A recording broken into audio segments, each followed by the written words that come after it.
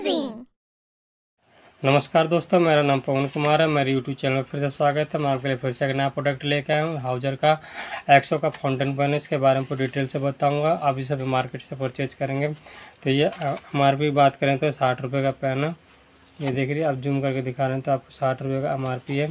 इसके परचेज करने के बाद आपको क्या, तीन रिफिल मिलेगा और एक फाउंटेन पेन और एक अलग से कार्ट्रेज मिलेगा, जिसे पंप के नाम से भी जाना जाता है। इस पंप का क्या काम है?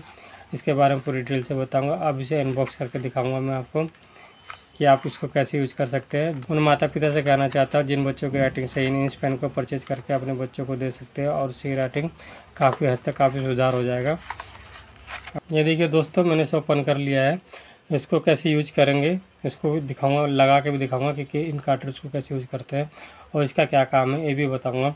ये देखिए दोस्तों इसको ओपन करेंगे तो ट्रांसपेरेंट जो आपको दिख रहा है काफ़ी प्यारा लुक आएगा और पकड़ने में बहुत बहुत स्मूथ है। यहाँ पकड़ने में जो ग्रिप बना रखी कंपनी ने बहुत बढ़िया आसानी से पकड़ में आ जा रहा है और इसे पीछे से खोलेंगे तो आपको एक पीछे का हिस्सा इसके इंक नहीं दिखाई देगी, मगर ये वाला हिस्सा जो है, इसके अंदर इस तरह करेंगे तो फिट कट्टे से आवाज़ आएगी जिससे क्या कि ये फिक्स हो जाएगा और ये चलने लग जाएगा।